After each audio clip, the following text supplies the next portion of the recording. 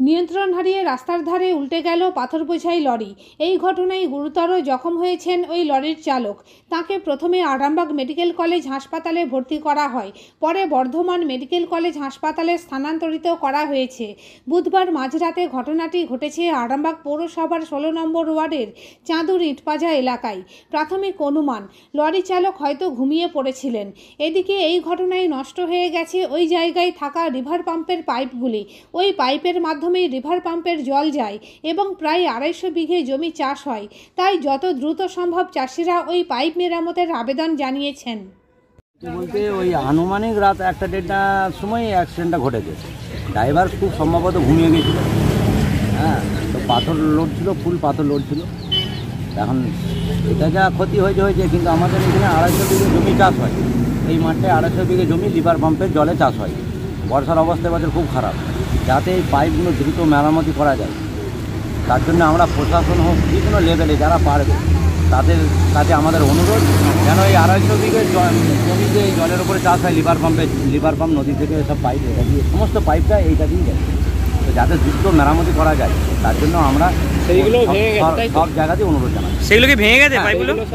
আগেরবারও একটা আপনারা জানেন আর মাস চারেক আগে এখানে সেম একটা পাথর গাড়ি পাল্টি হয়েছিল তার জন্য এই জল মেরে সেই পাইপ মেরামতি করা হয়েছিল এই এই বর্ষার সময় এইখানে যা মানে জলের যা আস- জল জমে তো জল মানে এটা মেরেও ওই পাইপ বাগানো যাবে না। এটা কোন দিক থেকে আসলো লরিটা? লরিটা আসলো বর্ধমানের দিক থেকে না আরামবাগের দিকে যাচ্ছে। এটা এখানে প্রায় কেন অ্যাক্সিডেন্ট হচ্ছে? এই দুর্ঘটনা ঘটছে ডিভাইডারের জন্য মানে হয়তো ড্রাইভারদের সমস্যাও হচ্ছে যেগুলো ফাঁকা যাতে ডিভাইডারটাও হয় তার জন্য আমরা প্রশাসন লেভেলে দৃষ্টি আকর্ষণ এটা কেউ আহত হয়েছে?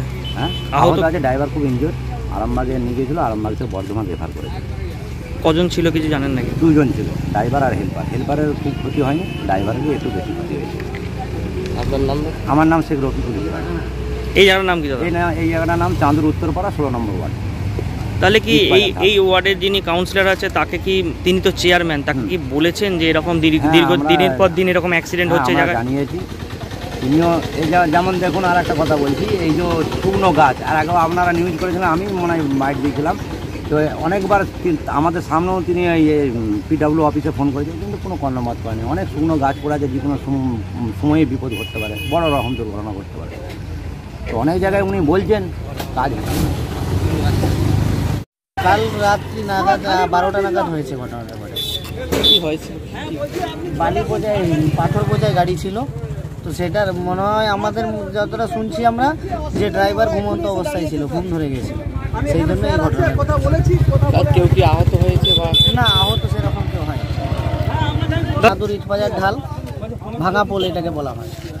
এখানে কি প্রায় অ্যাক্সিডেন্ট হয়? হ্যাঁ প্রায়ই হয় প্রায় কি- মাঝে মধ্যেই হয় প্রায় মাসে এক মাসে হয়তো একটা দুটো হয়েই থাকে। এটা ক চাকা গাড়ি ছিল?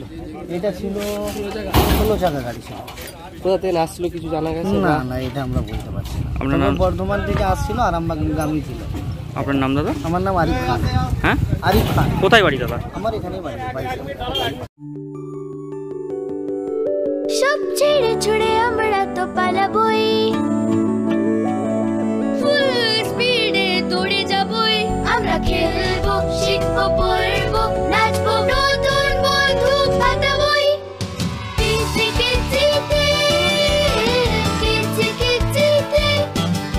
বাচ্চাদের কিডজি থেকে দূরে রাখা অসম্ভব। কিডজি ইন্ডিয়ার ফেভারিট প্রি স্কুল